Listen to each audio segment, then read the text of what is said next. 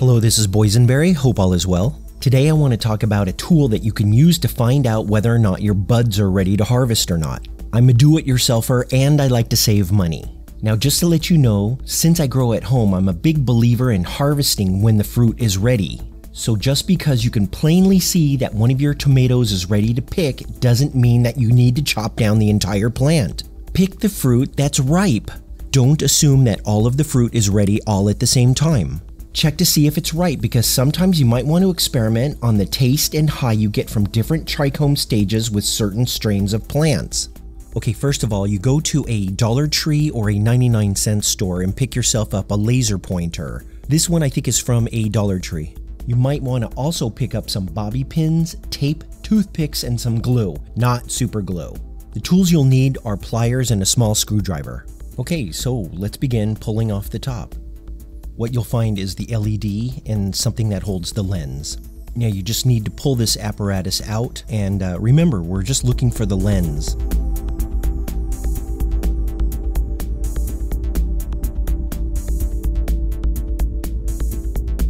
Now what you're looking for is right inside that little mini canister.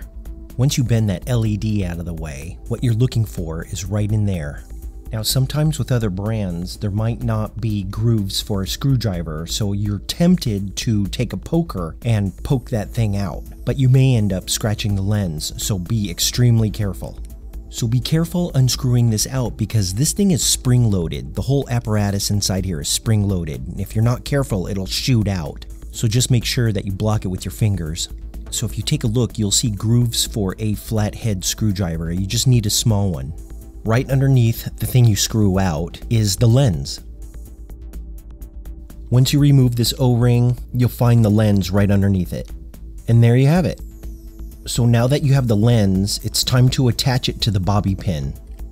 This is the tricky part.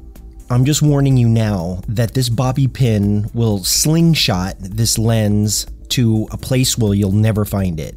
It doesn't matter where you place it within the claws of the bobby pin. This is where the glue and the toothpick are going to be used. Once you have the lens in the claws of the bobby pin, make sure you stabilize it and glue just a little bit of the edges. This is the most vulnerable part of putting something like this together.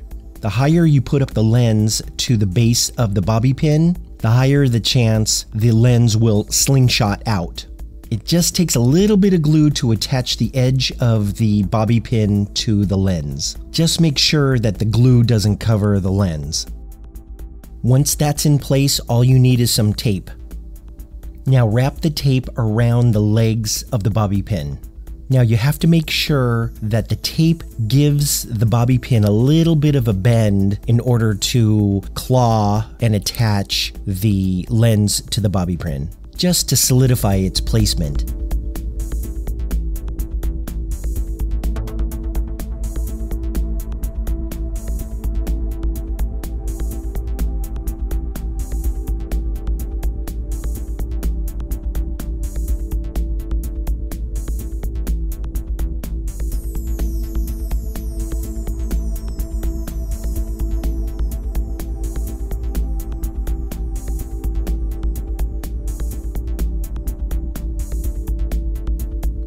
Now the next step is attaching the magnifying glass to the phone. For this next step, you'll have to figure out which way to point the lens in order to maximize the magnification. You'll have to look closely, but you'll have to put the sticky part of the tape on the same side as the concavity. This is the part that dips into the lens. If you really can't tell, you'll have to experiment one side or the other side. So you have a 50 50 chance. Once you figure it out, you need to put your lens over the camera's lens. Make sure that the tape is secured and you're in business. I usually record what I see in order to review the footage. I just want to make sure that these trichomes are ready. It's easy to videotape some cloudy trichomes and assume that everything is cloudy, but sometimes that's not the case.